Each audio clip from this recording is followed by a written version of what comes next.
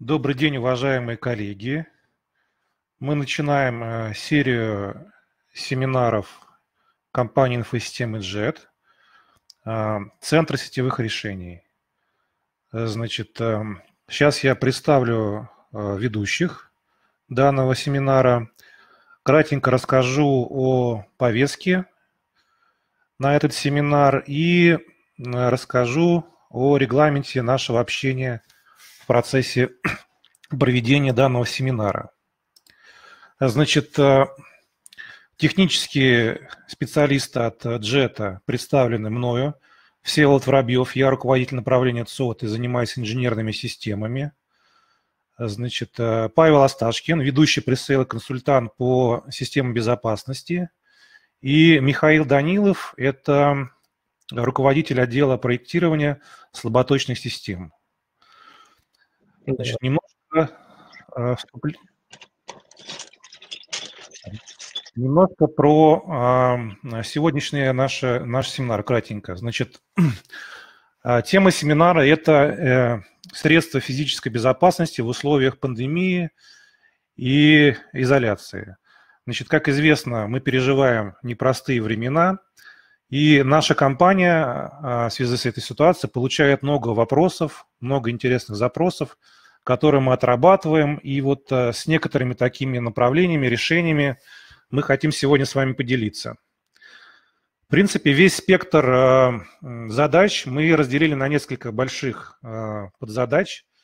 В первую очередь это такие общегражданские проблемы, то есть проблемы, которые решаются на уровне там, муниципалитета, города там, и так далее – это контроль за соблюдением гражданами карантина с использованием различных систем распозна распознавания лиц, с использованием э, системы позиционирования и так далее. То есть это как бы э, э, решение на уровне э, контроля граждан.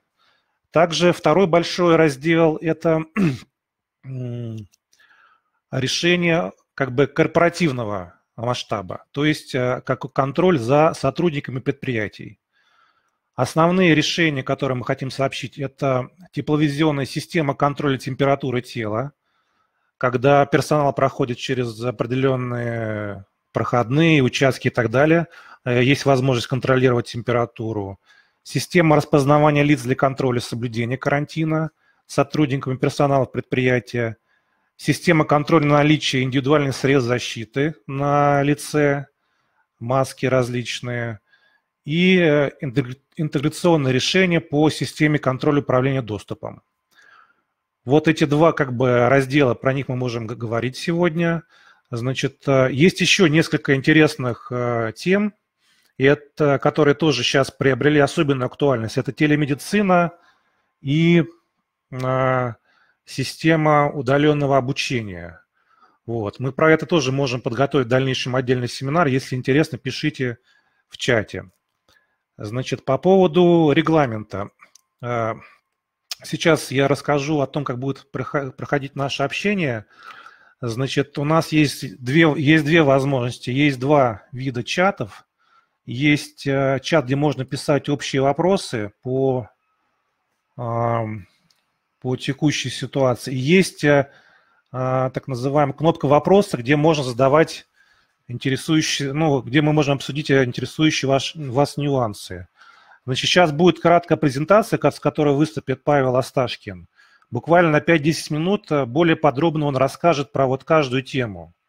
Вот. А затем а, хотелось бы от а, уважаемых заказчиков и партнеров а, получить вопросы в реальном времени, пояснить какие-то какие моменты. Вот. То есть сейчас небольшая презентация, потом значит, э, будем обсуждать э, вопросы по, по сути проблемы. Паша, вперед. Да, Сева, спасибо большое. А, всем здравствуйте, коллеги. А, как Сева уже сказал, у нас сегодня достаточно много а, тем для обсуждения, да, и действительно я, наверное, постараюсь затронуть их вкратце, да, и в дальнейшем, соответственно, ответить на ваши вопросы который, я надеюсь, появится, да. А, так, поехали, да. А, как сказал уже Всеволод, а, все наши решение, по сути, можно разделить там на две части, да, контроль граждан и контроль сотрудников. Начнем, пожалуй, тогда с первого. Контроль граждан. Здесь я хотел бы рассказать про решения, связанные с контролем соблюдения карантина граждан, да, с использованием, соответственно, системы распознавания лиц, да, и с использованием системы позиционирования. Начнем с первой. Значит, всем вам, наверное, известно, что а, с недавнего времени э, в городах внедряется концепция безопасного города. Одной из систем безопасного города является городская система видеонаблюдения. Так вот, на базе городской системы видеонаблюдения можно организовать систему контроля соблюдения граждан карантина, используя технологию распознавания лиц. Естественно, не все камеры городской системы видеонаблюдения подойдут под, эти, под это решение, да, поскольку много а, камер находится а, много камер обзорных, да, стоят они высоко, ну, например, такие камеры, как камеры вот на подъездах, а, которые можно встретить, камеры в общественном транспорте, да, или вот камеры, скажем, на турникетах, которые недавно начали устанавливать в Москве, например, они вполне могут помочь нам решить данную задачу.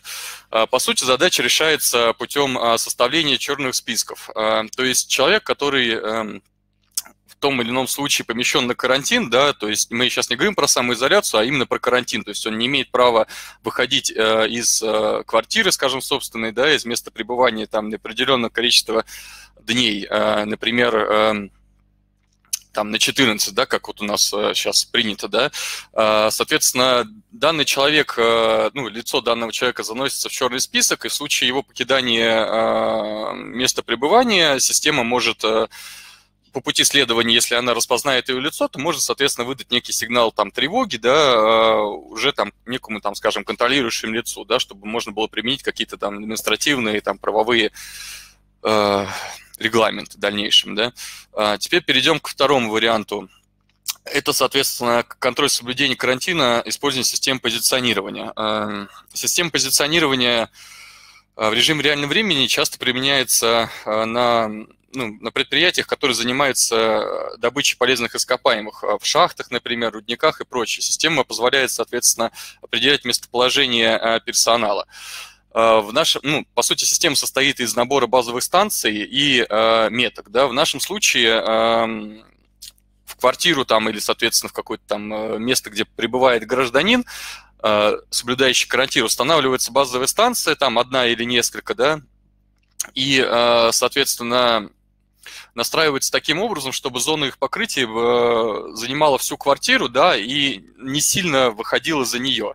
А гражданину вручается метка в виде браслета, да, который одевает на руку, да, соответственно, метка по Bluetooth э, связывается с базовой станцией э, через определенное количество интервала, через определенный интервал времени, да, они настраиваемые, ну вот, и как только метка уходит за пределы, соответственно, зоны покрытия базовой станции, базовая станция ее теряет, соответственно, формируется сигнал тревоги, и опять же какие-то там дальнейшие административные, там правовые э, регламенты можно к этому всему э, подвязать, да, то есть таким образом мы э, уже существующие системы можем использовать в реалиях текущей ситуации эпидемиологической. Теперь давайте перейдем на контроль сотрудников предприятия. Здесь, соответственно, я хочу рассказать про четыре решения. Да. Первое – это типизационная система контроля температуры тела. Вторая – это система распознавания лиц а, для контроля соблюдения карантина. А, система, соответственно, распознавания наличия медицинских масок на лице сотрудников, посетителей. Да. И также проговорить про возможную интеграцию, а, возможные интеграционные решения на базе этих систем. Типизационная система контроля температуры тела. Значит, это программно-аппаратный комплекс который, соответственно, а, решает задачу обнаружения повышенной температуры тела у сотрудников и посетителей объекта а, и своевременное оповещение об этом контролирующего лица.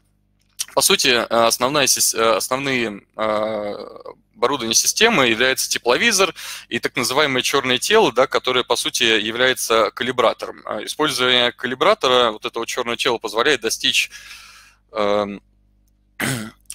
погрешность плюс-минус 0,3 градуса в измерении, соответственно, температуры.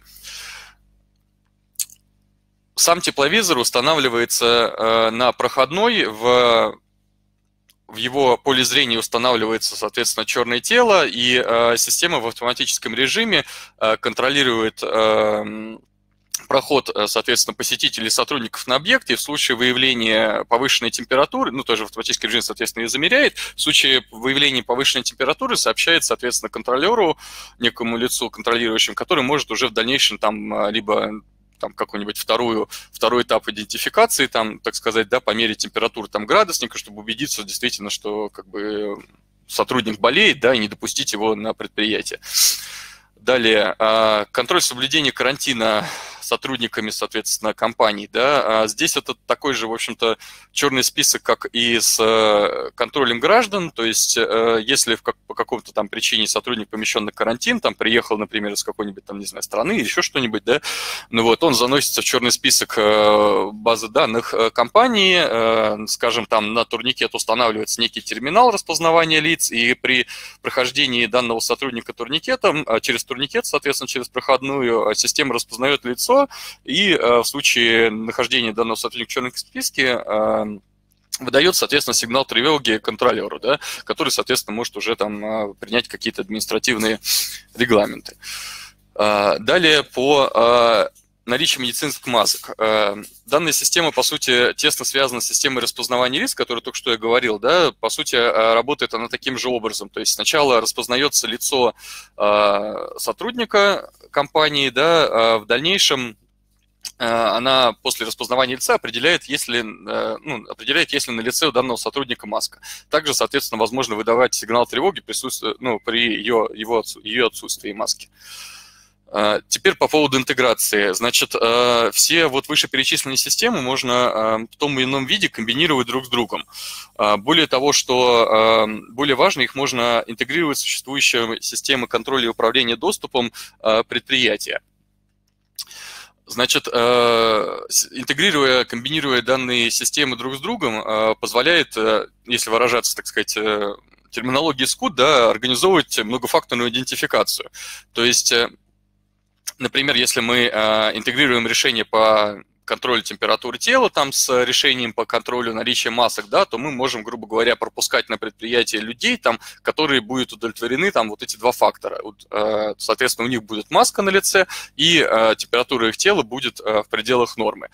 А по поводу интеграции с существующим скудом, здесь есть два варианта. Это либо интеграция soft-soft, которая требует, ну, при при помощи использования SDK, там API и так далее, да, а, либо системы можно интегрировать э, через Vigant, э, то есть мы э, соответственно, подключаем к существующему контроллеру, к Vigant его порту порт Виганта, соответственно, там, скажем, терминала, да, и терминал заводим уже э, базу данных сотрудников с существующими кодами э, карт их, да, и, соответственно, когда сотрудник проходит через там турникет, например, да, система распознает его лицо, определяет какие-то дополнительные факторы и отправляет уже код именно его карты в существующий скуд. То есть в скуде будет видно, что это именно там конкретно такой-то человек, который там уже внесен, уже, уже соответственно, есть. Систему, соответственно, можно интегрировать как эм, отдельно, да, то есть, ну, я имею в виду тепловизор отдельно, отдельно там, скажем, э, терминал распознавания лиц, да, так и есть э, такие интеграционные решения, которые воплощены в едином устройстве. То есть можно поставить, скажем, там э, единый терминал, в который будет уже э, встроена система распознавания лиц, система, соответственно, контроля там наличия масок, да, и тепловизор, который будет, э, соответственно, мерить температуру тела. Да? Э, кроме того, эти системы также имеют э, релейные входы, ну, сухие контакты, соответственно, да, которые мы можем замыкать по определенным условиям, да, там, скажем, по той же там, превышении пороговой температуры тела, да, и тем самым она может автономно управлять турникетом. То есть турникет просто не откроется, если, соответственно, система не даст ему сигнал. Вот. Эм, тем самым, комбинируя том или ином виде, да, и интегрировать существующим там скут предприятия, можно, по сути, получить некую автоматизированную пропускную систему э, предприятия, да, которая будет э, адаптирована под э, текущие реалии, да, под текущую эпидемиологическую ситуацию. Э, наверное, у меня все, коллеги. Э, спасибо за внимание. Жду от вас вопросов. Слово, наверное, передаю тогда Всеволоду Воробьеву. Да, спасибо, Паша.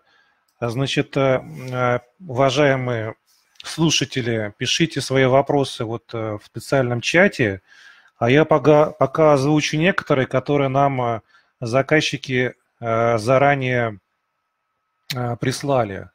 Паш, вот ты говорил, что а, э, что касаемо контроля граждан, что на существующую инфраструктуру бывает проблематично наложить эту систему контроля. А скажи, пожалуйста, вот э, какие характеристики вообще камер э, минимально необходимы для того, чтобы эта система корректно работала?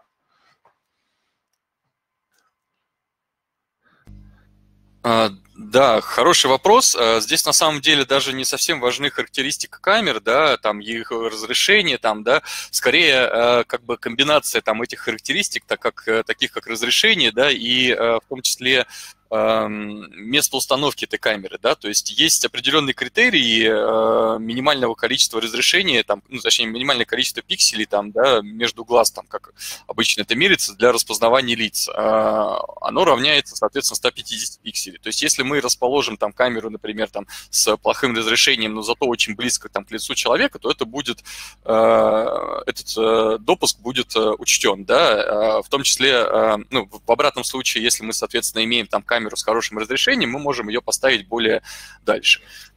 Надеюсь, я ответил на вопросы. Слушай, ну не, а вот смотри, а вот на существующая инфраструктура, развернута, допустим, в столице нашей, Москве, она насколько готова, э, там, не знаю, половина э, строек соответствует, или там вообще никакие не соответствуют? Или большая часть, как ты считаешь? Ну, как я и говорил, что э, в Москве вот в рамках там, того же безопасного города система видеонаблюдения городская, она, в общем-то, содержит довольно большое количество обзорных видеокамер, да, то есть которые установлены там, не знаю, на, на крыше там домов, там, да, и так далее. Естественно, эти видеокамеры, они э, не подойдут э, для системы распознавания лиц, да, но в том числе есть как бы камеры, которые установлены там на подъезде, например, да, то есть если вы, э, коллеги, там помните, там на каждом подъезде, там в Москве, например, да, я говорю про Москву, а, установлен, соответственно, некий в виде там похоже что-то на домофон, там, да, некое такое устройство. Вот это устройство, это и есть, соответственно, система, э, ну, есть видеокамера, которая, соответственно, э, вполне может распознать ваше лицо, поскольку вы подходите к подъезду впритык, да, и как бы там большого разрешения не нужно, да. Также, соответственно, на транспорте. Вот в последнее время, там, да, еще до начала пандемии, э, я заметил, что в московских метро, да, на видео, ой, на турникетах были установлены видеокамеры, да, я, может быть, сейчас вот отмотаю, там, покажу, вот, там есть картинка, вот левая, да, на данном слайде, вот такие вот устройства на турникетах стоят, они, насколько как бы я изучал тему, да, то есть это э, является система распознавания лиц, да, и пока они там работают только в режиме там загорело зелененьким, красненьким, там, да, на, если карту проложили, там, да, соответственно, у вас есть проход, там, вас пустили метро, но вот э, она именно под это заточена. То есть, соответственно, использование вот этих камер, да, они-то, наверное, являются одной из самых критичных, потому что граждане, э, которые нарушают карантин, там, да, э, ну, куда опаснее, чтобы они там не просто вышли из дома, мусор выкинули, вернулись, да, а, скажем, э, попали там в тот же метро, да, где они могут распространить там, соответственно, инфекцию куда более большим масштабе. Поэтому Ответ, в общем, такой, что нет, не все камеры, да, но многие э, могут это позволить. То есть, скажем, каждая подъездная камера, у нас каждый подъезд оснащен этой камерой. То есть, поэтому, в общем-то, поймать человека довольно, ну, как мне кажется, просто. Ну, отлично. Ладно, слушай, а, еще один вопрос тут задают по поводу браслетов. А, просит уточнить время автономной работы этого устройства и можно ли контролировать нахождение браслета именно на руке.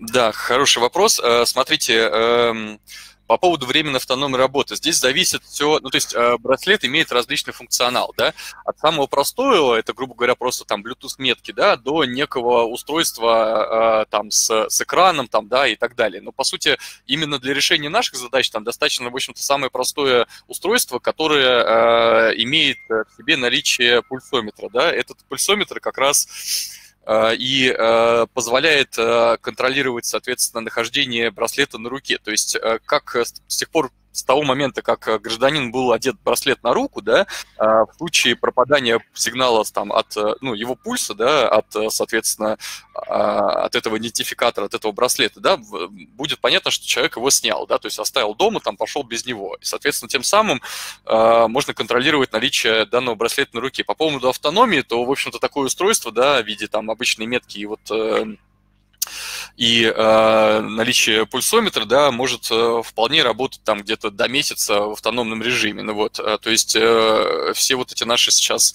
э, режимы там карантина, да, там по 14 дней, это вполне себе, ну, вполне, вполне закроет, так что никаких проблемных применений тут, в общем-то, нет. Ясно, спасибо. Тут э, пошли вопросы в чате такого больше, более юридического характера. Давайте, может, попробуем ответить. Миш, может быть, ты справишься? Смотри, значит, Дмитрий задает вопрос. Как обеспечивается соблюдение законодательства касательно хранения и обработки персональных и медицинских данных? И второй вопрос от Алексея. С точки зрения законодательства, нужно ли как-то оформлять на данных предприятиях эти системы или там действуют локальные нормы? Коллеги, ну, юридически, да, у нас э, до сих пор пока не до конца все прописано, хотя уже сколько лет э, аналитика действует, даже видеонаблюдения в подъезде, теоретически, э, ну, ставят многие, но как минимум, для примера, вы должны, э, чтобы на площадке разместить у всех жильцов на площадке, как минимум, получить согласие, желательно письменное, вот, а как максимум у всех жильцов дома, потому что дом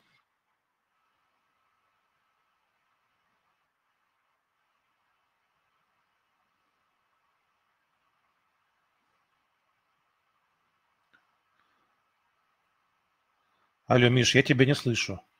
Будут обрабатываться и использоваться на предприятии. Вот.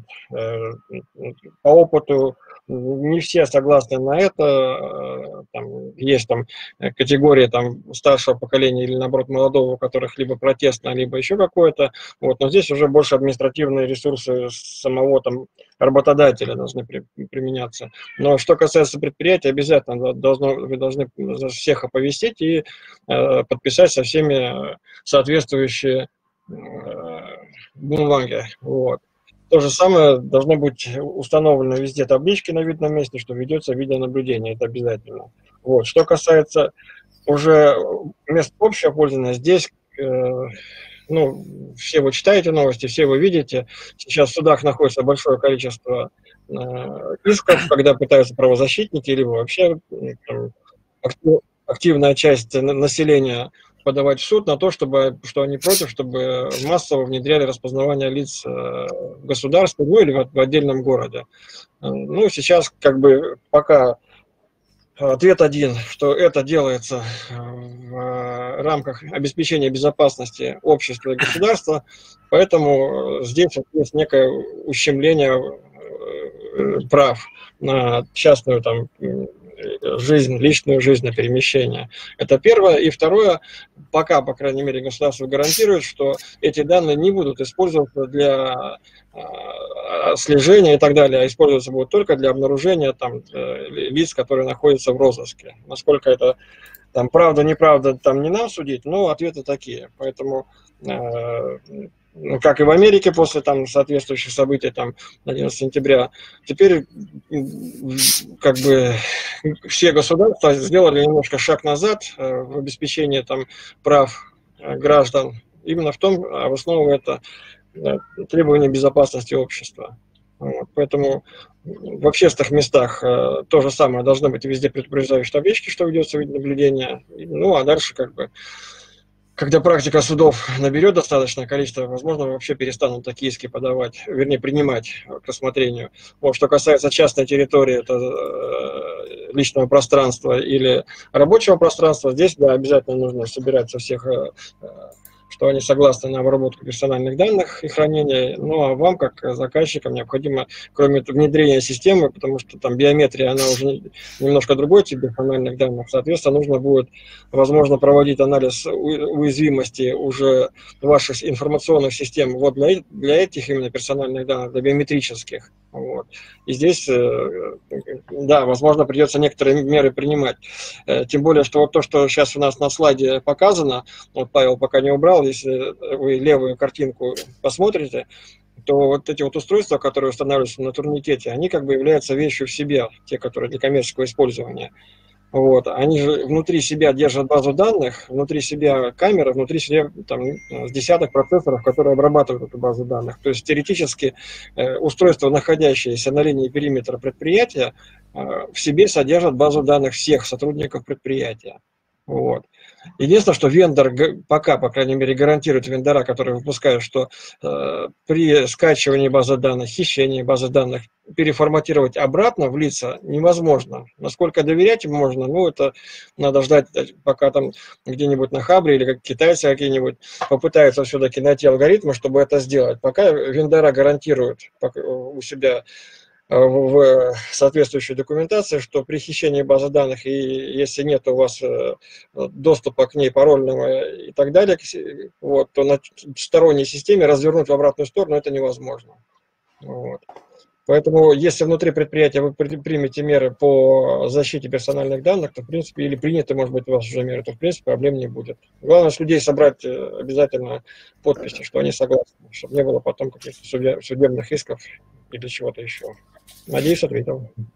Я хочу добавить, можно, а, Миша, еще а, имеется в виду, что Миша там вкратце об этом сказал, что в системе, в базе данных лицо не хранится как фотография, то есть это некий... Лицо не хранится, нет, да, это, да, это, да, это, это некий... модель, математическая, притом у каждого вендора математика своя, в этом как раз и есть смысл, то, что сейчас много вендоров на рынке, что каждый вендор, вернее, есть, э, так скажем так, крупные вендора виде наблюдения, которые используют чужие алгоритмы, там все понятно, у них однотипно все. А есть вендора, которые заточены под распознавание, и для них э, каждый вендор использует свою математику. То есть есть и у нас в стране несколько лидеров, которые э, по разработке математической обработки математических моделей. Вот, поэтому само лицо никогда не хранится как лицо, оно хранится в виде там, некого биометрического шаблона, вот, который даже имея такую же скачанную систему, ну, я говорю, еще раз повторю, повторюсь, э, вендора гарантируют, что невозможно развернуть обратно в какую-то там фотографию или что-то на нее похожее.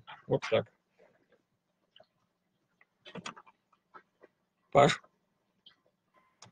Так, спасибо, Михаил. Э, коллеги, если, э, если есть какие-то вопросы еще по этой теме, вы пишите в чат. А вот. Есть какие-то еще вопросы, тоже пишите в чат. А вот я позволю себе зачитать вопрос, который получили про тепловизоры.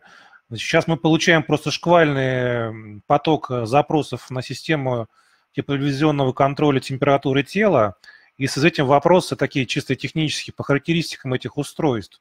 А какое максимальное расстояние от установки тепловизора до, до, до человека, да, и ширина контролируемого прохода, и глубина эффективной зоны контроля. Давайте я, наверное, отвечу на этот вопрос. Смотрите, э, здесь зависит все от конкретной модели тепловизора, да, если быть точным, от объектива, который использует он, да. Соответственно, к примеру, если мы используем там объектив 15 э, миллиметров, да, то максимальное расстояние вот до контролируемой зоны, да, до, до, до края его, до края этой эффективной зоны, это 9 метров. При этом ширина прохода будет равняться там около 4 метров, там 3 с чем-то, 3,9, 3,8.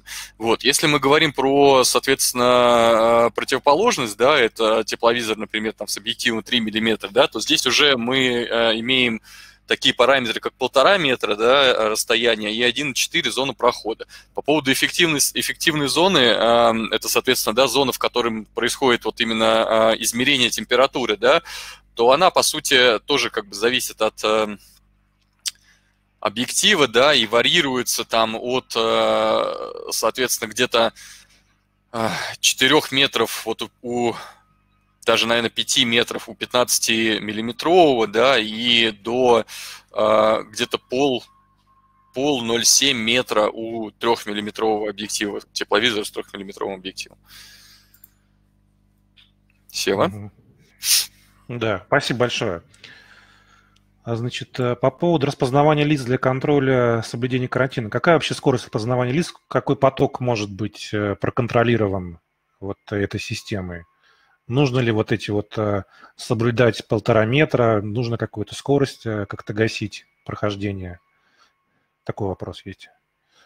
Ну, вообще, система распознавания лиц, да, наверное, этот вопрос там больше к э, распознаванию лиц на проходной, да, чтобы у нас, соответственно, не собиралась там очередь, да, из людей э, перед э, турникетом, да, и, соответственно, чтобы там в том числе соблюсти вот эту там дистанцию полтора метра, которую сейчас рекомендует там ВОЗ, да, в этом случае, в общем, система распознавания лиц обрабатывает картинку, да, полученную, и выдает, соответственно, какой-то результат, со скоростью там приблизительно 0,2 секунды. То есть, э, в общем-то, человек не должен, ну, то есть, по сути, это прямо на ходу. То есть, человек может, э, подходит к турникету, и она сразу же его распознает, да, то есть тут вопрос скорее к тому, как быстро откроется турникет, то есть вот эти механические его системы, они как бы э, куда медленнее, так сказать, работают, чем система распознавания. Вот, по поводу соблюдения полтора метра, ну, как бы, да, рекомендации есть, поэтому, наверное, стоит его соблюдать, но система распознавания лиц никак не будет препятствовать это делать. Спасибо большое. Слушай, а по поводу масок, вот смотри, а, какие характеристики камер должны быть э, у них э, присутствовать, чтобы корректно распознавать наличие или отсутствие маски? А, ну, здесь тоже, то есть я как говорю, что, в общем-то, эта система а, завязана на систему распознавания лиц, да, и поэтому, как бы, поскольку алгоритм такой, что сначала распознается лицо, а потом распознается наличие маски на данном лице, да, поэтому мы, как бы, возвращаемся там к тому же вопросу про распознавание лиц, и а, ответ будет такой же, да, что в зависимости от э, э, соответственно, места установки, в зависимости от э, разрешения там, да, видеока видеокамеры, да, или там терминала, например, да, мы должны иметь, в общем-то, вот эти 150 пикселей между глаз, и тогда мы сможем распознавать лицо и, соответственно, распознать наличие маски или его, ее отсутствие. По сути дела, такие же, да, характеристики? Да, да, по сути дела, такие же характеристики, как, как такие же требования, как, соответственно, и предъявляются к системе распознавания лиц. Хорошо. И, значит, вопрос по поводу вот, э, если что-то происходит, да, какой-то аларм получается на проходной э, предприятии, как дальше происходит оповещение о тревоге? Э, так, ну смотрите, контролирующее лицо, да, который, соответственно, а, должен получить оповещение, есть разные способы. То есть, во-первых, системы то есть имеют свои, там, свое программное обеспечение, да, то есть есть возможность установки, скажем, некого рабочего места на на месте, на, ну, на рабочем месте, да, извините за тавтологию, но, так сказать, э, контролирующего лица, да, то есть это, соответственно, некий ARM, а там развертывается программное обеспечение, на нее выводится на, на экран э, картинка, так сказать, э, там, скажем, с тепловизора, да, и в случае срабатывания будет там красным зажегся там фон, да, и будет показано, что вот такой-то там человек, да, в случае еще, соответственно, с интеграцией там системы распознавания лиц будет показано, что вот такое-то именно, ну, то есть вот такое-то вот лицо, вот оно распознано, у нее, соответственно, температура такая, тревога, да, это первый вариант.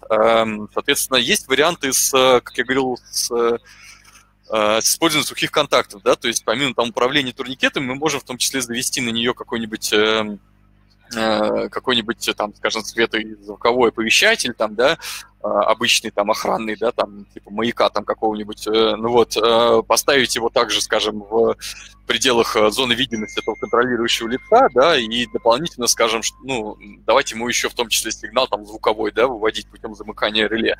Вот, а, это может там даже полезнее, потому что так-то люди могут как-то отвлечься там, да, от экрана, они не всегда могут смотреть, соответственно, на него, да, а тут в том числе они услышат там звуковой сигнал, что надо обратить внимание, там, да, потом, скажем, скажем, посмотрит на экран, сверится, что это за человек конкретный, там, да, там, какая температура там и так далее. Вот. А, в том числе также еще сами э, терминалы, Э, используемые в данных системах, они имеют свою как бы встроенные, так сказать, оповещения, да, то есть, ну, наверное, это больше уже даже не для контролера, а для лица контролируемого, да, соответственно, для сотрудников. Ну вот, то есть, если сотрудник подошел, скажем, к терминалу, ну, то есть контролер, конечно, тоже, если он находится рядом с терминалом, он тоже увидит, услышит это, да, но как бы тут больше рассчитан на сотрудников самих, то есть, если там, скажем, у сотрудника будет там, там превышение температуры, то терминал тоже там у него есть, э, ну, некоторых там есть функция, скажем, загорится там рамка красным, да, и терминал там голосом скажет, что там э, ваша температура там, там такая-то, да, превышение, там, не знаю, там, превышено, соответственно, там, не знаю, пройдите там, туда-то, да, там, кабинет там такой-то, например, для дополнительных там измерений. Так что вот такие вот э, имеются методы, имеются способы оповещения там как контролера, так, соответственно, самих контролируемых лиц. Спасибо, Паш. Э, слушай, Миш, вопрос пришел. Э, помоги нам, пожалуйста. Артем Кравченко спрашивает, на каком алгоритме построена система распознавания? Собственной разработки или что-то из открытого кода? Э, я вопрос не очень понял. Алгоритм чей? То есть сейчас у нас своего алгоритма, естественно, нету. Алгоритмы mm-hmm. разрабатывают, я говорю, компании, которые этим занимаются. Они несколько лет занимаются. Большинство компаний, которые сейчас на слуху и у которых распознавание лиц работает наиболее стабильно, они начинали со стартап, стартапов маленьких. Вот. То есть, э, поэтому алгоритмы это э, у всех свои, вот. Есть только те, кто вот есть там, если брать систему видеонаблюдения, типа интеллекта, э, там, SecureOS или еще таких вот крупных мастодонтов. Естественно, у них, у них раньше не их фишка была это распознавание, и они просто покупали эти алгоритмы чужие, и того же интеллекта при э, выборе там специфицировании программного обеспечения можно было выбрать там три различных э, э алгоритма. Когнитековский, там, например, там, еще какой-нибудь еще, три на выбор. У каждого своя цена, у каждого своя эффективность, э, которая там каждый год там меняется, там все пытаются друг друга обогнать. А есть компании, которые чисто занимаются именно распознаванием лиц.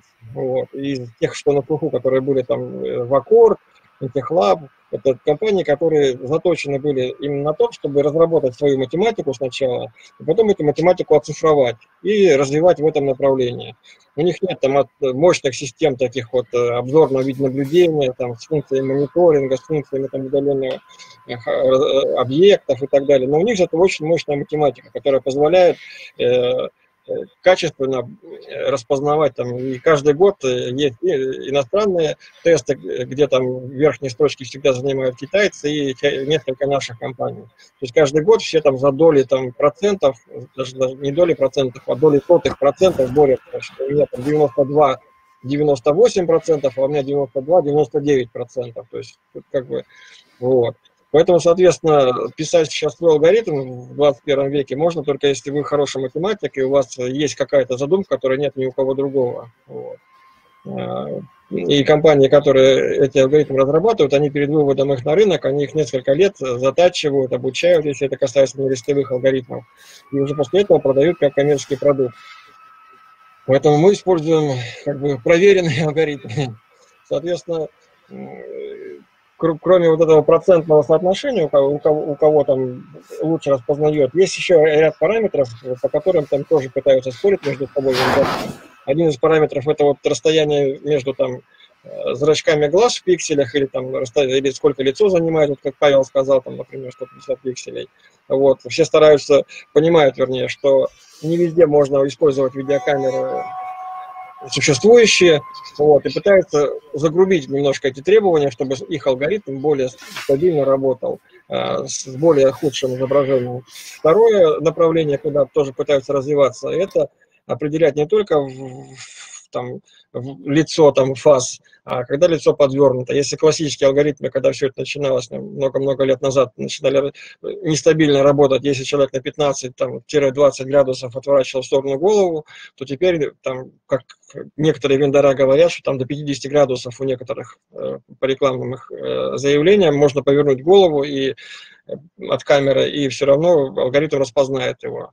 Вот. Поэтому Сейчас на рынке есть и импортные, вот китайских много алгоритмов и систем, есть отечественные. Здесь как бы выбор э, он неоднозначный. Здесь нужно понимать, зачем вам система, какая у вас сейчас система наблюдения, чтобы бесшовно все это синтегрировать, какие задачи, то есть там искать одного, как Павел сказал, э, задача там э, распознавания сотрудников, она там в разы отличается от задачи распознавания на улице, потому что ну, распознать одного, там, допустим, из тысячи сотрудников на порядок проще, чем на улице пытаться распознавать одного из, там, из миллионов. Вот. Для этого совсем другие требования должны быть и к видео системе, и к серверному э, оборудованию. Вот.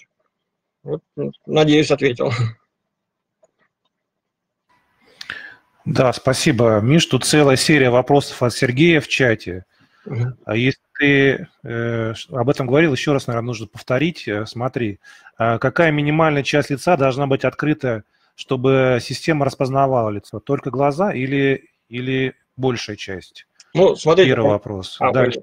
Да. Давай. Ну, давай по очереди, чтобы не забылось.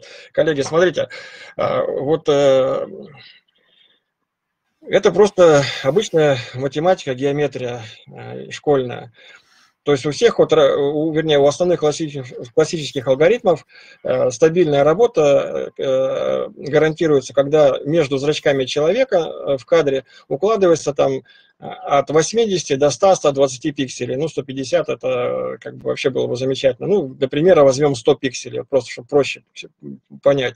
100 пикселей. Двухмегапиксельная камера выдает по горизонтали, соответственно, там 1980, ну, допустим, 2000 пикселей.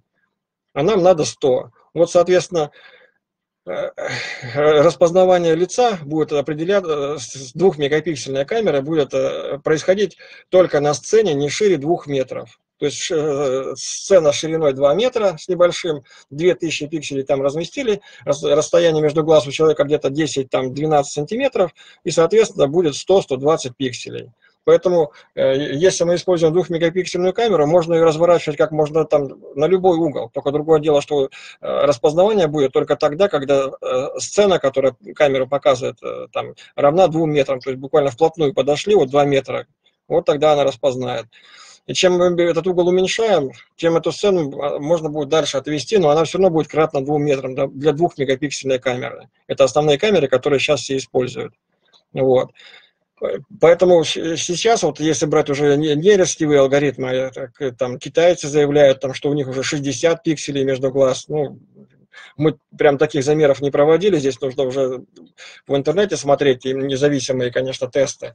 Вот. Но смысл такой, я вот только несколько минут назад сказал, что все э, там производители пытаются из более худшей картинки сделать более лучшие результаты. И вот в эту сторону двигаются. То есть со 150 мегапикселей, ой, пикселей, они уже идут там к 80 к 60 пикселями между глаз, чтобы укладывались. То есть получается, что с, 2, с 2 мегапиксельной камеры мы сможем уже не 2 метра сцену просматривать, а 3 метра, например. Это уже коридор, обычный офисный коридор. То есть как только ваша камера развернулась до коридора, вот, который, вот с, с этой дальности уже можно надеяться, что будет распознавание. Вот. Миш, Миш, вот. Сергей уточняет вопросы по поводу все-таки маски. Если на лицо надета маска, вот, вот э, как будет да, работать да, система давайте. распознавания? Маска, шапочки, вот, глаза смотрите, там. Я э, понял. Смотрите, да. сами классические алгоритмы, когда они появились, распознавания, они работают очень просто. Они у лица выделяют ключевые точки определенные, вот, и с ними работают. То есть они не работают с, дальше уже с самим лицом, они работают с ключевыми точками. У каждого вендора их разное количество, каждый вендора там пытаются свои точки найти. Э, вот. И весь смысл, когда появлялись эти алгоритмы, были в том, чтобы кадр, что изображение должно дать максимально хорошее количество этих точек. Вот. После этого, когда появились нейросетевые технологии, э, стало уже проще, математика нейросетевая намного стабильнее работает, и многие производители начали говорить, что у них э, для распознавания требуется Э, где-то 50-60% открытого лица. Но это открытое лицо должно быть верхняя часть лица, где глаза и нос. Потому что большинство ключевых точек – это скулы, это глаза, это нос. Вот. вот если нижняя часть закрыта, э, то пока, по крайней мере, вендора заявляют, что э, работать будет. Сейчас вот э, в Китае, например, когда э, с них все это пошло, у них э, очень остро стал вопрос распознавания лиц, потому что все китайцы начали выходить в масках, и безопасники столкнулись с тем, что это уже как бы реальность, та, которая есть. И есть ряд китайских вендоров, которые специально начали переучивать свои модели именно на то, чтобы они работали исключительно с верхней частью лица, чтобы нижнюю часть лица они вообще не смотрели. А нижняя часть лица – это шарф, это маска, это борода, в том числе накладная, это усы, это воротник. Соответственно, вот сейчас есть уже у китайцев э, заточенные наработки. Ну, китайцы, потому что у них самая большая база для тестирования, все-таки там почти 2 миллиарда человек, вот, поэтому там все это намного быстрее развивается. Вот, они уже, их там производители э, алгоритмов распознавания лиц перешли на верхнюю часть лица. То есть достаточно будет, чтобы открыто было пространство вокруг глаз и вокруг носа. Тогда этого будет достаточно. У классических наших пока систем считается, что 50-60% лица должно быть открыто, и это должно быть верхняя часть лица. Вот. Но при этом вот по э, как бы экспертным оценкам, если 50% лица за, закры, а, закрыто, то процент распознавания больше 90% не будет просто по математике. То есть здесь уже э, как бы математика с комбинаторикой начинают вместе спорить, и если у вас 50% лица э, закрыто, то больше 90% распознавания не получить. Все, все, вроде ответил. Там еще, говоришь, вопросы да. были? Да, круто. Э, а, один вопрос от Сергея, посерединке, который значит, подвис, по поводу тепловизора. А, на каком участке лица должен мерить э, температуру, э, соответственно, потому что, опять-таки, всякие шапочки, защитные средства дополнительные. Вот, Паш, сможешь ответить? Ну, я могу себе ответить, или Паша, как там удобно. Ну, да, давайте... Паша,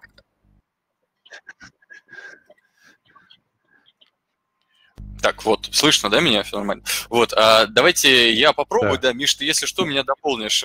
Смотрите, ну, а, да, то есть а, откалибровать его можно как удобно, да, но по сути как бы он рассчитан там, да, на измерение, вот картинка как раз открыта сейчас, да, на измерение, соответственно, а, температуры лба, да, то есть если маска есть, то там она как бы не видно, да, ну вот, а, лоб мы видим, лоб мы меряем, да, вопрос как бы наличия шапки при этом, да, ну, наверное, да, это скорее уже какой-то некий административный вопрос, то есть, естественно, если шапка будет натянута там по, по глаза, да, и вообще будет не виден лоб, то мы тут, ну, как бы ничего, наверное, не померяем, да, там, возможно, там температуру там носа можем измерить, да, но если как... Я просто, если честно, эм, не сильно представляю, насколько у нас там, э, ну, точнее, считаю, да, что температура, там, скажем, там, не знаю, того же там носа, например, и лба, она, наверное, не сильно отличается друг от друга, да, поэтому, в общем-то, можно и, наверное, по носу мерить, да, вот, но, тем не менее, наверное, наличие шапки, а, это уже некий административный характер, да, имеет, и просто если мы хотим контролировать все-таки там с более э, высокой точности температуру э, тела сотрудников, да, там мы должны там обязывать их, э, скажем, снимать на проходную шапку, там, да, Наверное, вот так, Миша. Можешь добавить, может быть, что-то, если... Ну, в принципе, нет, э, Павел, ты достаточно полно ответил. Э, Павел еще где-то минут 10 назад, когда начинал, он сказал одну фразу, которая как бы отвечает сразу на вопрос, что система работает с лицом, которое сначала обнаруживается лицо, потом работает уже либо алгоритм распознавания, либо алгоритм, который меряет температуру.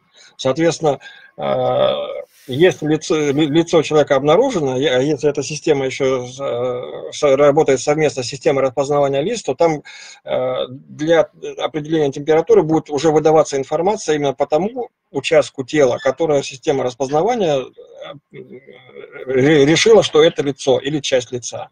Поэтому в таком случае это гарантированно попадает, там, куда бы кто ни натягивал, как бы здесь дополняет одна система другую. Вот как-то так.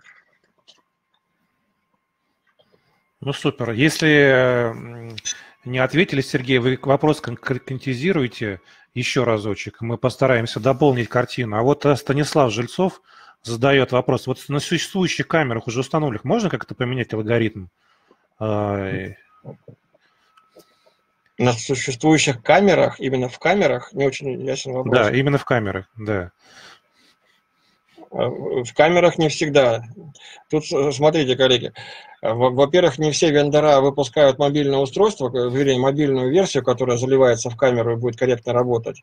То есть, э, если идти э, от классических систем распознавания, то это в первую очередь софтверное решение. Вот.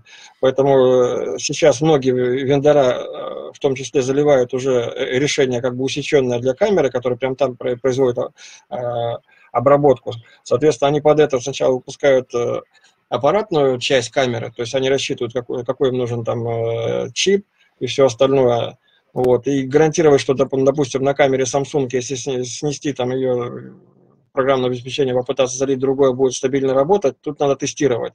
Э, вендора, которые выпускают софтверные решения, не аппаратные, а именно софтверные, то они по поводу камер, на которые можно устанавливать, тоже очень осторожно к этому подходят. Они э, либо э, то, что они оттестировали, предлагают, либо они предлагают оттестировать, и после этого они уже скажут, можно ли будет там поменять или нет.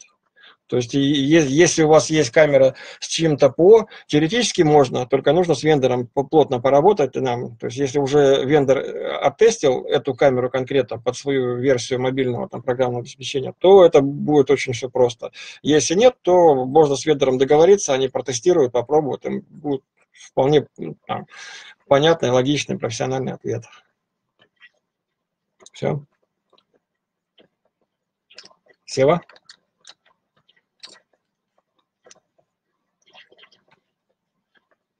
Сева.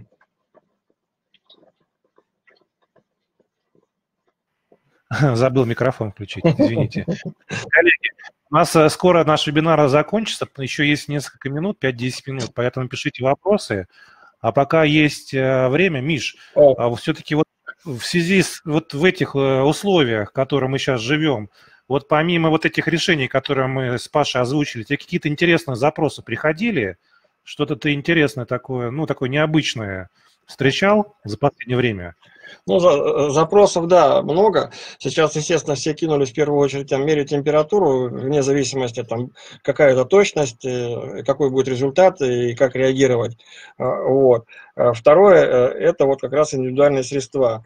Притом э, все пытаются использовать свои собственные алгоритмы, которые сейчас есть там вот, запросов э, приходит много интересных, э, приходит интеграционных много вопросов когда заказчик хочет не просто получать информацию по там, температуре или еще чему-то, вот, а начинает спрашивать, а в какой зоне удобнее там, проводить э, э, измерения, а будет ли работать она система, когда человек пришел с мороза, и если там проходная находится прямо вот буквально за, за дверьми, то есть он зашел, на улице минус 42 там где-нибудь в Новом Уренгое, вот, будет ли она корректно работать, а где лучше разместить, там, э, там на турникетах, или, может быть, уже когда люди там двигаются к, лифтам и так далее. То есть вот таких вот вопросов много. То есть людей э, после там первой волны, что ай, дайте нам что-нибудь, чтобы мерить, теперь как бы люди начинают задумываться, а есть ли смысл в инвестициях, если там система не будет работать? Или как сделать, чтобы она работала гарантированно? Вот таких вот вопросов все вот очень много. Спасибо. Паш, что-нибудь есть еще добавить? Может быть, что-то тебе на ум пришло? Интересное. А, Сев, да нет, наверное, мне кажется, мы довольно так сказать, э, обширно там затронули тему, да, там обсудили там шесть решений, ну вот, э, поэтому не знаю, наверное, наверное нет, угу. наверное, наверное, все, все понятно. Ладно. Значит, э, уважаемые слушатели, большое спасибо, что вы пришли на наш вебинар. Надеюсь, он оказался вам полезным. На вопросы поступившие мы попытались ответить. Если у вас какие-то остались вопросы и появятся после нашего значит, э, э, семинара, задавайте, если это менеджеры клиентов напрямую, если заказчики через менеджеров, мы подключимся и попробуем решить э, ваши насущные задачи. Всем тогда спасибо, до новых встреч, следите за новостями. Подобные семинары будут проходить в CSR там, с постоянной регулярностью. По крайней мере, вот с моим участием раз в неделю точно. Вот. Всем большое спасибо. Спасибо. Спасибо, коллеги. До свидания. До свидания. Всего, всего доброго.